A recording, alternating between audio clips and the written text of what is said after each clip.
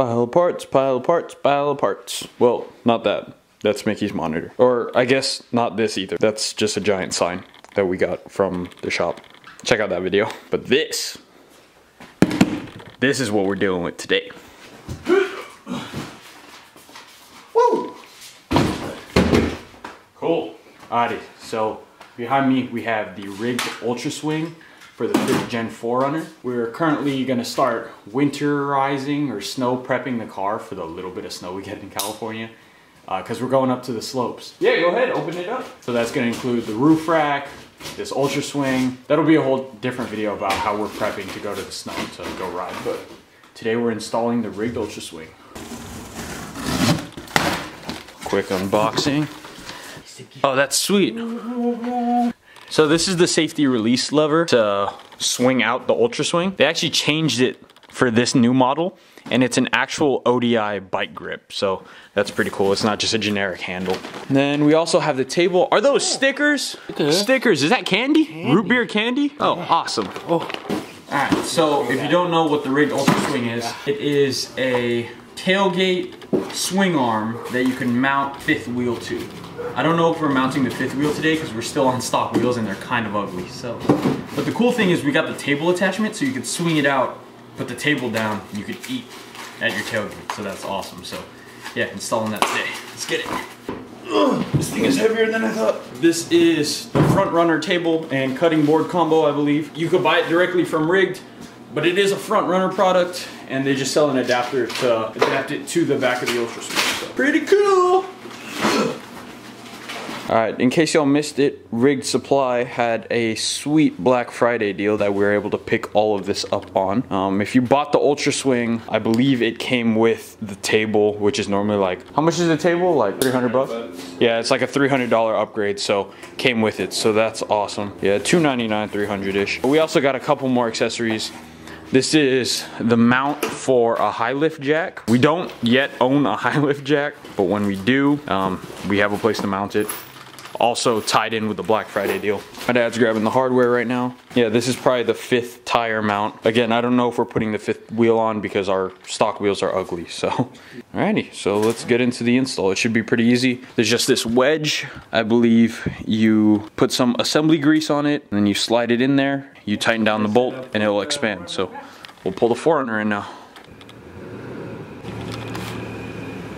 So we're gonna toss it in here first, I think. Step Number one, we need to loosen this wedge. You can see it's all the way up right now, so it's wider.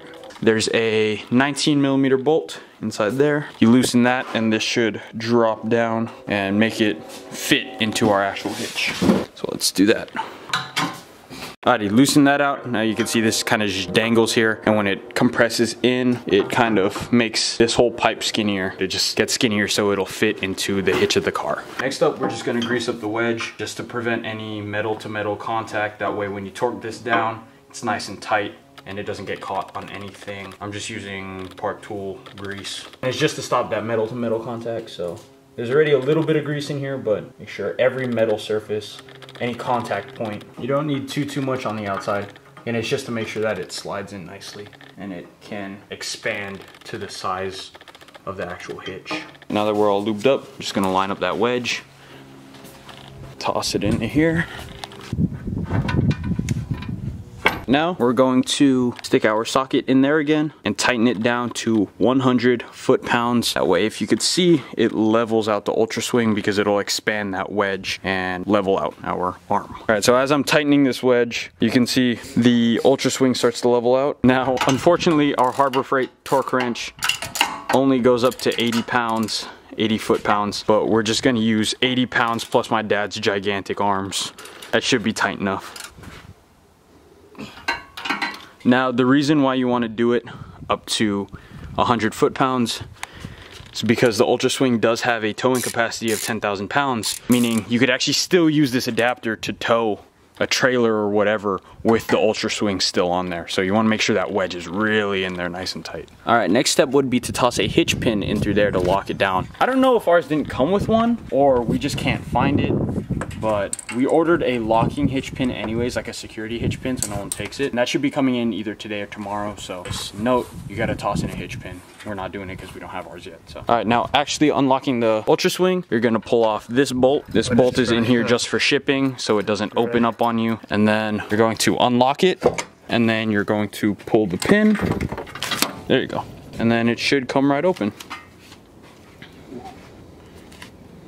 Nice. That's nice and solid. It doesn't just swing out and hit a car, so it's nice and nice and snug. Also, this guy, so you don't lose it, it has a carabiner on it. Um, I'm gonna clip it here for now.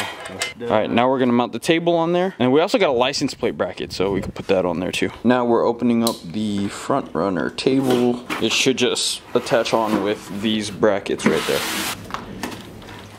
That's cool. All right, so just kidding about the table. We have to do the fifth wheel mount first because the fifth wheel mount bolts in here and sticks out here. And obviously if we put the table here, it'll cover up these bolt holes. So we're gonna do that first.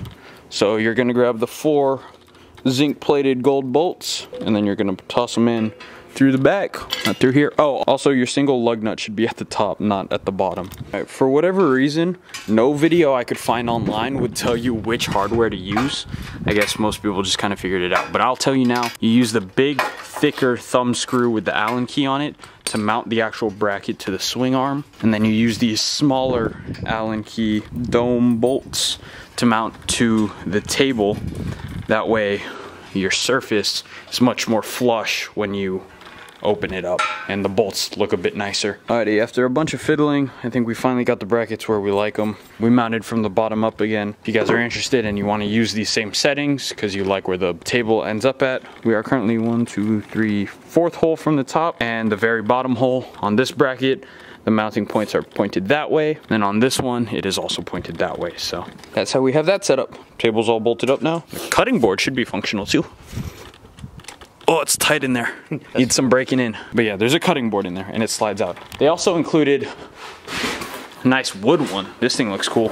That's my vibe right there. I might toss that one in. Now we're tossing on the high lift jack mount and license plate relocation because when you have a wheel on here, it's gonna cover up your license plate. You're gonna start off by taking out these two bolts. Normally you would put a license plate here, but because we're putting on the high lift jack mount, it mounts over this, then you mount the plate to the high lift jack mount. Once again, we're just sorting through hardware.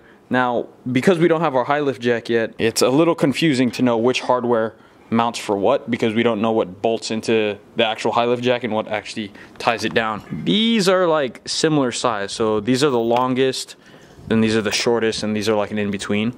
So since there's five of these, we notice we need, there's five holes here, there's two here, and then three here that mount the other side of the bracket. So we're just gonna use the five here to correspond with those holes. And I believe this goes into the bottom with a wing nut so that you could actually tie down your high lift jack and be able to access it easily because of these wing nuts. Alrighty, mounted these guys on here. Again, we don't know exactly which hardware to use. Just kind of put what fits. Like these wing nuts, like these are the only slots that these fit into, but it looks kind of weird. That's not the most important thing. The important thing is the mount because we don't even have the high lift jack yet. So we'll probably save all the hardware and repurpose it when we actually have the high lift jack to install on here. Just put it on there because it looks cool. And we needed to put the plate mount down there so we could relocate it from up here to down there. Boom. That is the RIGd Ultra Swing with table, with plate relocation, with high lift jack mount, all mounted up. And obviously not the fifth wheel because stock wheels are ugly and we don't want to put them up there. Looks kind of like a like a wheelchair is mounted to the back or like a, a hover round. but yeah, I think that looks sick. What you think, Mick? It's sweet. It's kind of aggressive. It, yeah, it's you know it goes out. Here, I'll show you. Swivel it. Uh, grab that handle and then pull it towards the car. Yeah. There you go. Now reach in here. You can see that orange carabiner. Pull up on that. There's a pin. That pin will come out. Okay, pin's out. Now uh, pull on the thing. Okay. Look at that. The wheel goes here. You could undo that table. There's a lock on it. There's a little lock switch. This thing slides up and then pull on the thing. There you go. Look at that. Oh, this thing needs to swing all the way out for the tailgate to open. Then now we could chill there, have our meals. Also has a cutting board. Nice little cutting board. Give him an avocado. Avocado. We need some chairs now to sit there. Solid. Solid. Successful install. Successful install. Was it difficult? That wasn't too bad. It was just tedious. Just getting everything to align and put it where we want it. Hey guys, I hope you enjoyed that video of us installing the RIGd supply ultra swing for the 5th gen 4Runner. Hope it was helpful. Hope you learned some things. Hope you didn't learn some things because we just kind of winged it. There's a step-by-step -step install guide that comes with it. We just didn't look it up because it was pretty straightforward. You know, it was a little tedious finding the bolts, but we figured it out anyways. I think the next video will be us actually completing winter prepping this for when we go to the slopes tomorrow. I just wanted to make a dedicated install video for the RIGd swing arm because I know there's not too too much information and too many videos out there. Again, we didn't put our fifth wheel on there because our set of wheels is still on its way and the stock fifth wheel is a Steely it turns out. So that's quite ugly, but it's on there nonetheless. Has a table so we could eat during lunchtime at the slopes. So yeah. Thanks guys so much for watching. Vlogging every day until Christmas. Hope you guys are enjoying. Plenty of content to come soon. So have a wonderful, wonderful day. I'm out. Peace.